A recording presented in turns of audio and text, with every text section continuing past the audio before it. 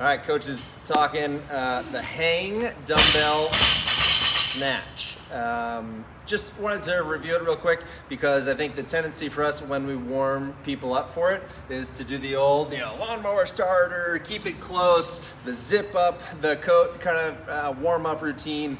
And when we go to put it into practice, um, generally, I think everybody, for the most part, tries to get more of that kettlebell swing style through the legs with a more neutral grip. So, and then, you know, you're still keeping it close, but you're ripping it up like this versus zipping it up in front of you parallel to your body. So I think we might as well coach it the way people do it.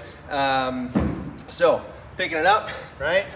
Stand, a little kettlebell swing style, and then keeping it close, but after the pop and extension, right? So if you kind of slow it down a little bit, you're still getting that same full extension, and then the elbow comes up you know your body and you're you're punching overhead uh, and then catching in that neutral position overhead, right? So um, it's still the same thing, but just not that parallel barbell style with the dumbbell, which is what I want to emphasize here, I guess. Let's coach it the way people do it, all right?